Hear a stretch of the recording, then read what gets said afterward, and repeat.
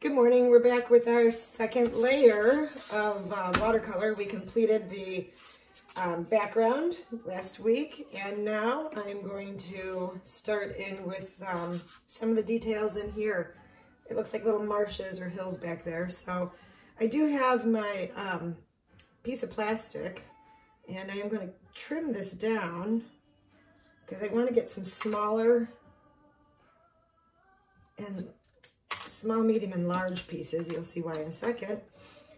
So I'm looking specifically at these. These are kind of orange. If you can't figure the color of something out, what you want to do is I took a piece of white paper and I cut a little hole out of there.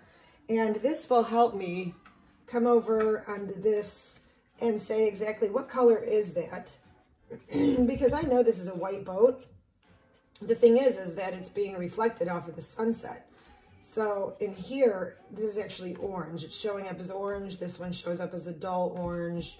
This one's really dull. It's kind of like, um, like a brown.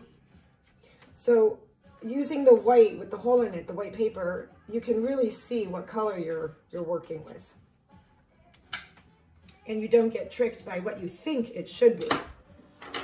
So let's use, I'm going to use um, maybe a little scraping, but probably more so edging on this. I want to mix my color and I should not put, maybe I should put my coffee over here and my water up here because I don't want to um, dip my brush in my coffee this morning. So I'm going to take a brown and uh, an orange, mix these in. And I'm going to say that's a pretty good color for that back there. Maybe make some a little bit darker. Um, my paper towels are with me. Move that coffee over. So now I'm just going to take this, the edge of it, and dip it in here. And maybe I want to go with a little bit more orange. And I am going to make some of these details. Change the color up. Remember, variety is indeed the spice of life. And the thing is about painting is this is just your interpretation of what you see and how you are going to interpret it. So I have some of these back here.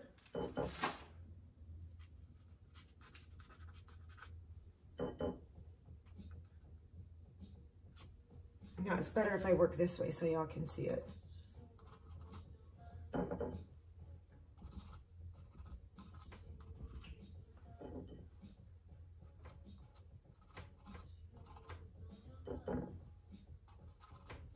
I kind of want to vary these colors in here, so I am going to add a little more yellow in here. I don't need to follow the colors exactly. Oh, we have a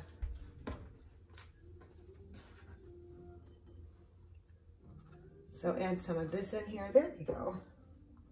So I'm just going to take my time this morning adding some of these details in here. And then now I'm going to get more over into this blackish color. This is darker brown. Maybe I'm going to add some more black to it. Remember, no, no black is ever, it's, you know, black is always tinted, either warm or cool. And I think I'm to add a little bit of blue to that also. So play around with your colors. Play around with your techniques. And I'm probably gonna use the same technique for the water. So I can grab some of this blue right here and watch me just drag it across and you will see how I'm gonna make my water on here.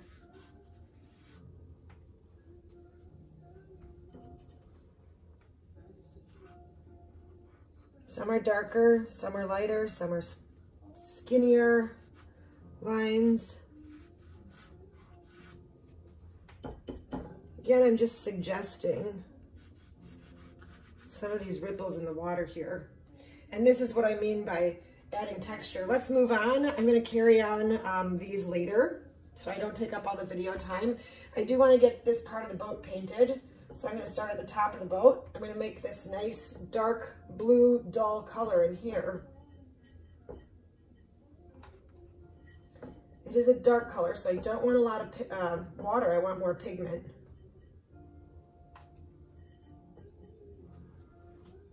And now I'm just gonna paint this in here.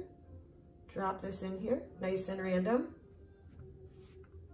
Nice organic line.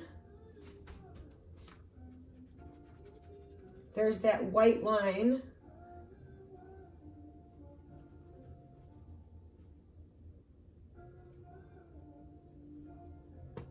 We go.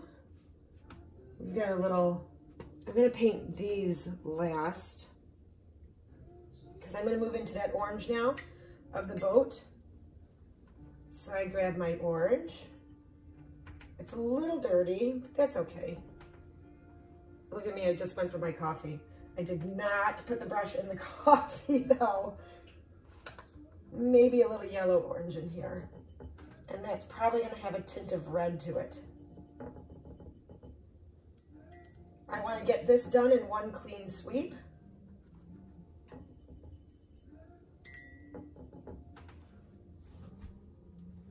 It still has this like reddish tint. I'm seeing like more of a melon color versus a yellow orange. Lots of water. And this is indeed gonna come right here. This is a clean line, so I am not going to paint this half of the boat yet today because I don't want it, I don't want the whoosh effect. I want the clean line. So I'm going to make one nice confident single brush strokes. There we go. Maybe add a little more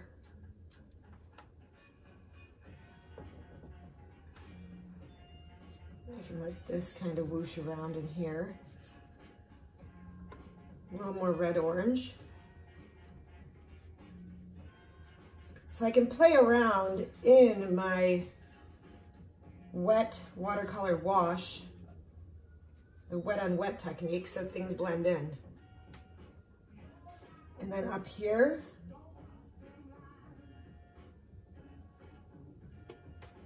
there we go. Clean my brush.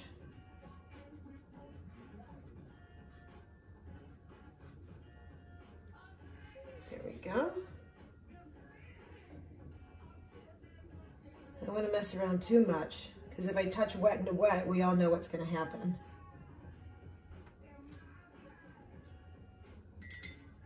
I'm going to take some of this red because there is some red on this ball right here. That's too red. So that's okay. I can just take more water, rinse my brush out, and bring this down. Now this is the only red in the picture, which is obviously going to be concerning for me um, because you know we need to echo.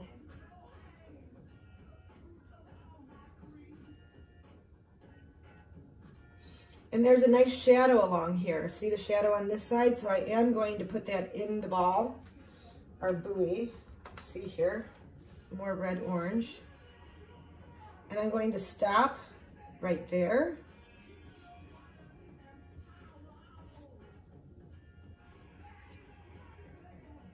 There we go. So this is the fun part for most kids because you can paint details. There we are. I still have this nice dark color on my palette that I've used before, so I am going to drop this shadow in here with the blue and that's going to blend out and stay within the wet. There's a line over here. There's a vertical here. And there is some darker part down in here.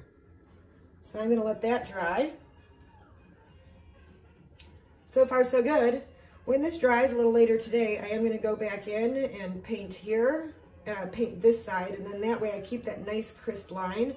I will probably paint under, I'm gonna use uh, the lighter colors first and do the darker second. So we'll work on this in stages, but for right now, I'm gonna let it dry and uh, pause the video for now because we're at 10 minutes and um, I am gonna continue to fill these in and fill in this marsh uh, over here as well and continue making some of these lines. So when we get back next time tomorrow, I'll probably finish uh, this side, add some final details in pencil. I'm a big fan of using pencil on my watercolors.